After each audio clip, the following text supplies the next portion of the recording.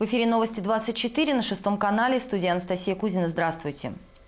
Зверское убийство в одном из частных домов в селе Волковой на Камешковского района. Сегодня утром были обнаружены два трупа.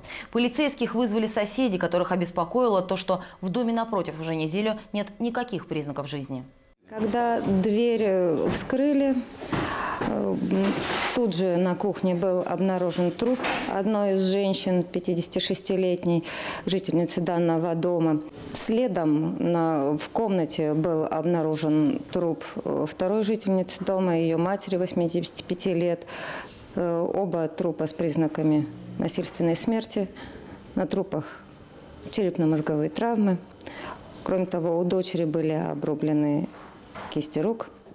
По версии следствия, перед тем, как убить дочь, пытали на глазах матери-инвалида, прикованной к кровати. Сначала отрубили руки, а потом попытались снять скальп.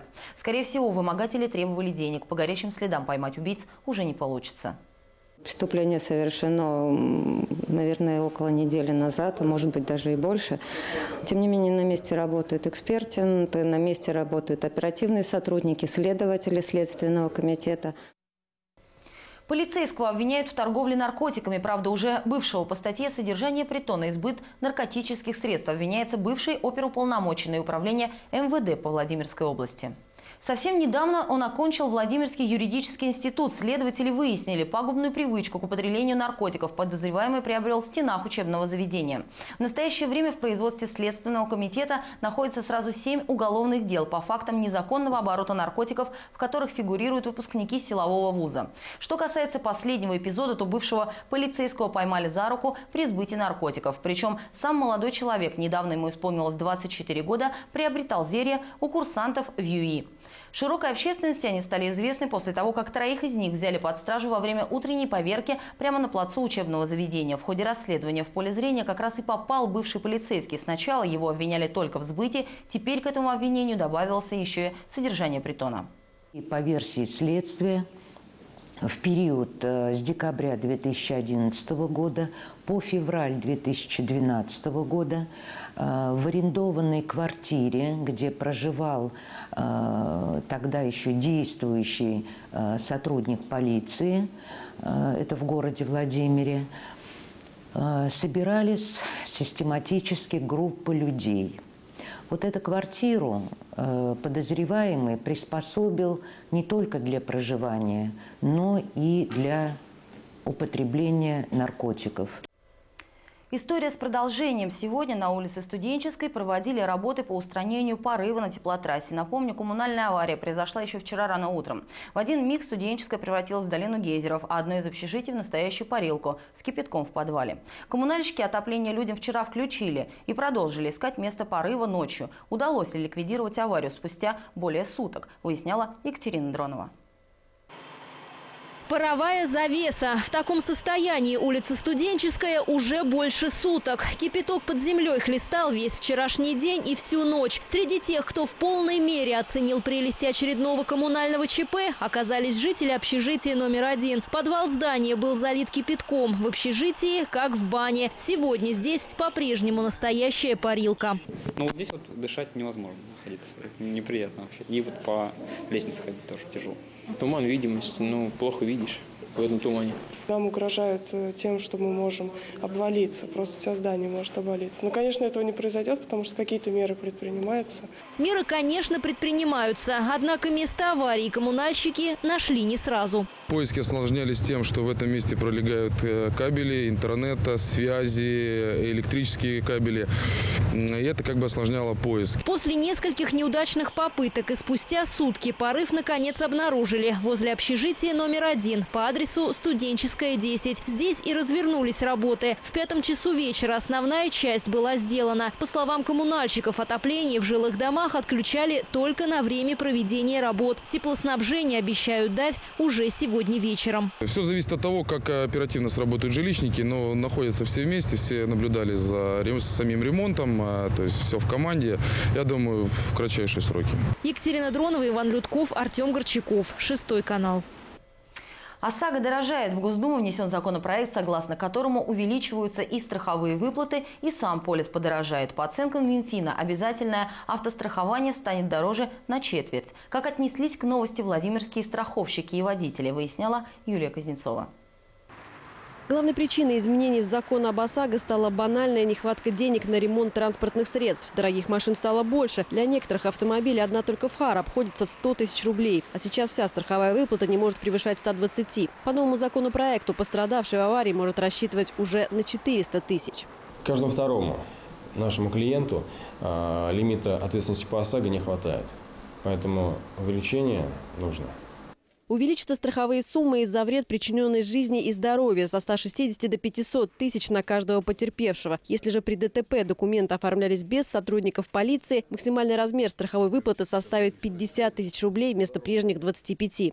В теории все во благо, а на практике есть нюансы. Даже новый закон не заставит некоторые страховые компании работать по-новому. Алексей своих законных денег так и не смог получить. После ДТП эксперты долго оценивали ущерб, нанесенный его Kia. В итоге насчитали за запчасти и работу 100 тысяч, но в официальном сервисе счет был в три раза больше. В результате Алексей сам искал запчасти и мастеров. И вот уже неделю как снова сел за руль своей машины. Но страховым компаниям он больше не верит. Если мы берем случай, например, сказка, да, это э, человек сам решает, да, э, платить каско или не платить. Он оговаривает условия э, этой страховки со страховой компанией, да, что ему интереснее, что ему выгоднее. Вот. Здесь его никто не принуждает это делать. Э, по обязательному автострахованию. То есть я не вижу никакой в нем надобности. А ОСАГО – это такой неофициальный налог, который делит между собой государство и страховые компании. Этот случай далеко не единичный. В день автоюрист Юрий Шутов принимает десятки аналогичных жалоб. Его практика показывает, если за дело по недоплатам и просрочкам берется профессионал, выигрывают в 100% случаев. Конечно, это не про все страховые компании, но страховой выплате абсолютно по каждой занижает суммы выплат в 2-3 раза. Ну, просто потому что закон, скажем так, позволяет это делать безнаказанно. В судебном порядке э, все это дело, правду, находит. Ну, судебная тяжба, она длится порядка там 3-4 месяцев, где-то примерно минимум. Поэтому, собственно, не все на это соглашаются, не все идут в суд. И, собственно, на этом страховые компании значительно выигрывают. Но в целом Юрий за принятие нововведения. К слову, если страховые выплаты увеличатся, водителям, которые сейчас делают полис дополнительного страхования, можно будет ограничить ограничиться одним ОСАГО. Да и в цивилизованных странах, по словам автоюриста, страховка давно стоит дороже. Юлия Кузнецова и Артем Горчаков. Шестой канал. Есть ли жизнь после смерти близких родственников? Для инвалидов детства с задержкой в психическом развитии вопрос не праздный.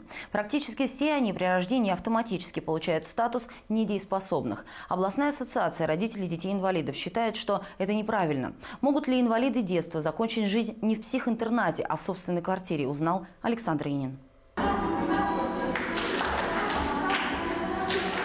Дееспособен – живи и радуйся. Не дееспособен – после смерти родных отправляйся в богадельню. А если человек ограниченно дееспособен, как, например, эти ребята, все равно в интернат. Альтернативы государство не предлагает. Подумаешь, что супруги Кац уже 17 лет жизни положили на то, чтобы научить своих воспитанников быть самостоятельными в быту. Чиновникам это не нужно. Даже если человек все делает сам по дому, он все равно попадает в психоневрологический интернат. Да, вот наших ребят, многих мы научили ходить в магазины, готовить. Им надо только помогать по жизни, сопровождать, э, решать их э, большие проблемы. Но нет, сейчас такой э, юридической э, ситуации нет, и они обязаны быть только в психоневрологическом интернате.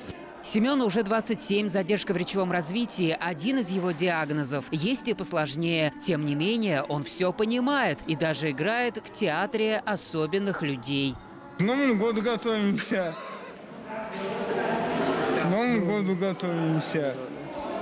Что вы разучиваете? Песню. Песни, танцы, спектакли – процесс разностороннего развития не останавливается ни на минуту. На первый взгляд, жизнь у Семена такая же, как и у здоровых людей. Он сам ходит в магазин, сам проверяет почту. Ничего не готово. В домашнем хозяйстве его мужские руки просто незаменимы, а уж у бабушки на даче тем более. Бабушка слабенькая, ей надо постоянно помогать, и он, он, она без него. Она им руководит, а он ей делает. Но если ничего не поменять в законодательстве, поменяется сама жизнь Семена после смерти мамы. На случай, если меня не будет, его просто отправят э, в места недалеко, недалекие отсюда. Да? Хотелось бы, конечно, чтобы он остался дома. Хотелось бы, чтобы он э, имел какую-то частичную э, опекуна. А для этого надо ввести в наше законодательство термин «человек с ограниченной дееспособностью». Во всем мире это понятие есть. И только у нас ограниченно дееспособных юридически не признавали ни в советские времена, ни сейчас. О том, что так больше жить нельзя, говорит вот это открытое письмо к власть имущим. И вот это голосование. Почти полторы тысячи человек уже высказались, что такие, как Семен, имеют право жить в собственной квартире и после смерти родных. Александр Инин, Александр Мажаров, Шестой канал. Последнее выступление камерного хора «Распев». Последнее в этом году. Концерт артисты приготовили в качестве новогоднего подарка для своих поклонников в репертуаре уже полюбившиеся мелодии из программы хора. На концерте побывала и Анна Левадня. Пять минут до выхода на сцену. Последние рекомендации от руководителя хора. В этом году распев встречается со зрителем в последний раз, потому атмосфера в зале по-особенному дружественная и уже новогодняя.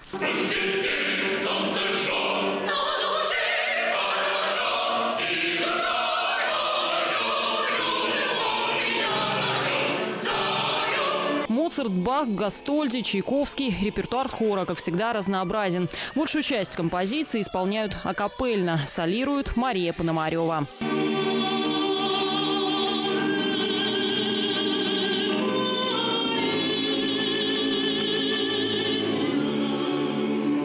«Аве Мария», рассказывает солистка, одна из любимых композиций. Это название носит более 40 музыкальных произведений. В данном случае автор музыки – Джулио Качини. Многократно перепета самыми известными оперными певцами, но каждый раз звучит по-новому. У Марии этому есть свое объяснение. Для меня «Аве Мария» – это всегда молитва молитва Богородицы. И неважно, на каком языке она исполняется, и неважно, в каком зале ты поешь. Это просто молитва. Вот что ты хочешь в этот момент попросить, сказать, помолиться. То ли предновогодняя суета сказывается, то ли общее снижение интереса к классической музыке, но в этот раз в зале есть свободные места. Хотя артистов это как будто не слишком волнует. Хотелось бы, чтобы, конечно, залы были побольше заполнены, потому что у нас есть какой-то вот такой момент. Ну, сейчас очень сложно всем. Я на это никогда не обращаю внимания. Я работаю. И ребята мои тоже как бы заряжены в этом. Но знаете, как раньше учили наши профессора? Если даже у тебя пять человек сидит в зале, ты обязан работать на полные сто процентов. Язык музыки, говорят в хоре, понятен всем. По сути, это эмоции, которые передает хор, и совсем не важно, на каком языке поют. Состав зрительного зала еще раз доказывает правоту таких рассуждений. Русский композитор. Это мне самый очень нравится.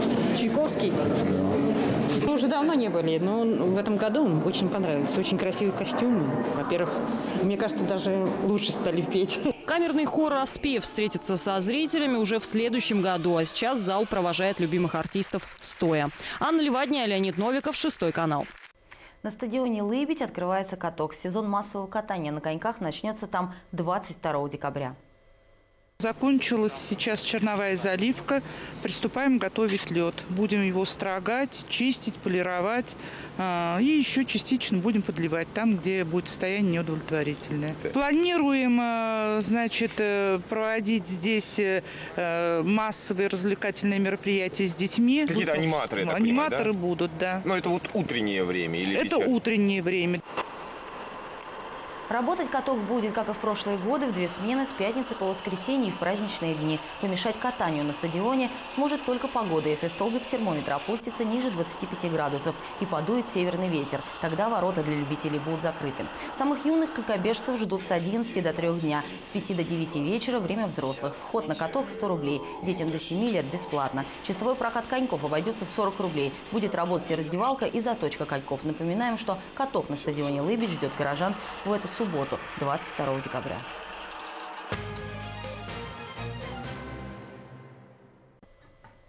Почему в одном из поселков Судогодского района на улицах больше нет освещения, когда во Владимире пройдет фестиваль рукоделия «Реки-руки» и чем знаменателен сегодняшний день в истории? Иван Людков с традиционным обзором Твиттера.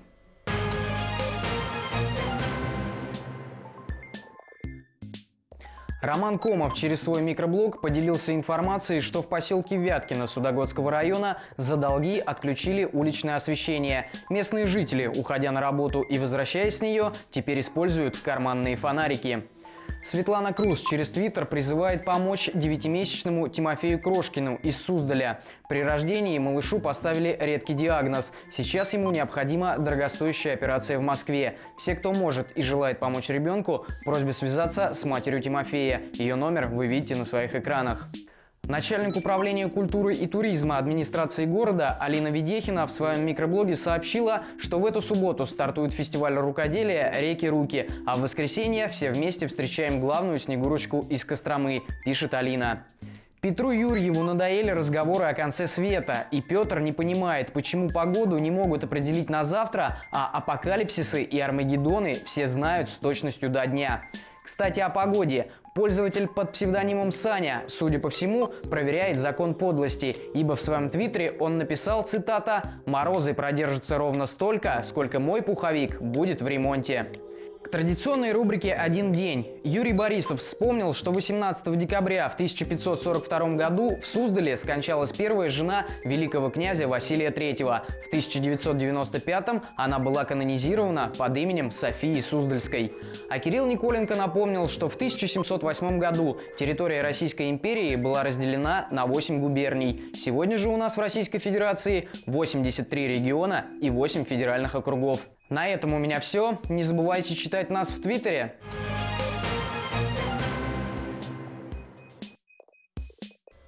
На сегодня это вся информация. Если у вас есть интересные новости, звоните к нам по телефону 36 66 66. Впереди вас ждет еще прогноз погоды. Я же с вами прощаюсь. Всего доброго. До свидания.